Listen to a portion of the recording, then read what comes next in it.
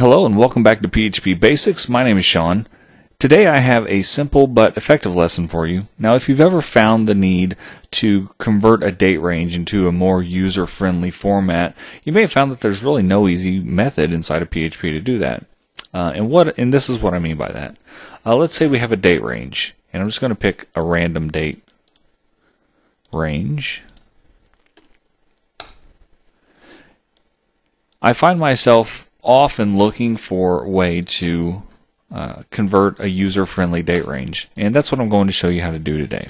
Okay, so inside of PHP, let's just go ahead and create our form first with uh, these two date ranges. And what I'll do is I will go ahead and wipe this out. And the form will be very simple. Uh, the method is going to equal the post. And we're just going to say date range. And we'll create an input type of date. And we'll just give this a name of start date. And we'll copy that. We'll do the same thing for the end date. And then we'll jump down a couple lines. And we're just going to create a submit button. And we'll just call this date submit. Okay, so now if I refresh the page, this is what we've got. Same thing I had before. Okay, so in PHP, the first thing that I usually do is create an output variable. And for now, this isn't going to equal anything. But what we'll do is we'll display that at the bottom of the page.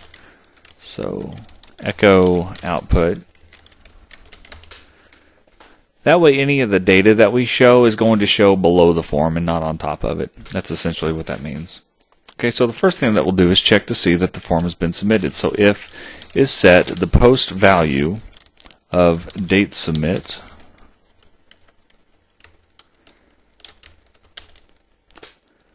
And if that's true, then we'll go ahead and get the form data.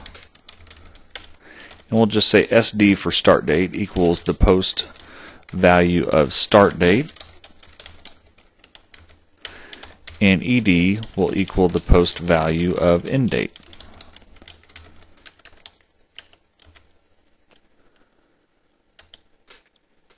Okay, so now we're going to introduce something a little different uh, we're going, going to talk about the datetime uh, class extension within PHP. And to do this, we'll essentially just do, I'll say um, start date equals a new date time of SD. Alright, so that's really just initiating a new instance of the datetime class, and we're just calling it start date. And we'll do the same thing with the end date.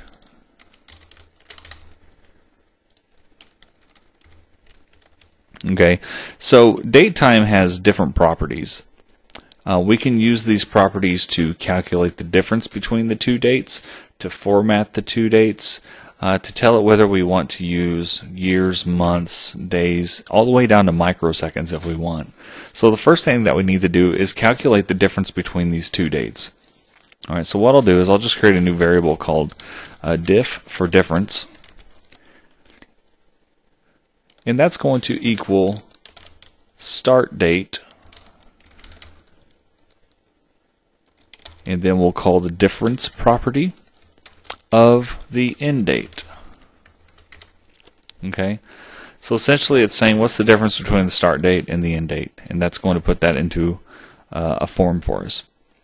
Alright, so what I'll do is I'll just go ahead and comment down here. We'll just say this returns the difference between two dates. Well, we'll say date time objects.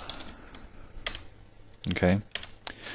And now our output is simply going to equal the difference in which format that we want. So this is the part where we actually format the text and we'll use the format property. And what I'll say is um, years months, and days. Now you can look up the PHP manual for datetime to find out the different types of options that you have for the format property. But for now, we're just going to keep it simple, since most of the time that's really all we're interested in are years, months, and days. Like I said before, you can use, um, you know, hours, seconds, all the way down to microseconds if we want. All right. So what I'll do, can, providing that I haven't made any mistakes, is go ahead and refresh the page. So we have a syntax error. That's always beautiful. Left out my single quote. Alright, so let's go ahead and select some date ranges here. Let's go back to 2008, January 15th. And then we'll just choose today's date. We can see that that's been 9 years, 6 months, and 4 days. So very simple but effective uh, method of calculating the difference between two dates. Pretty simple. Um, I'll go ahead and stick the source code for this in the description. And if you guys have any questions, as always, feel free to ask me and I'll try to help. And I'll see you guys on the next one.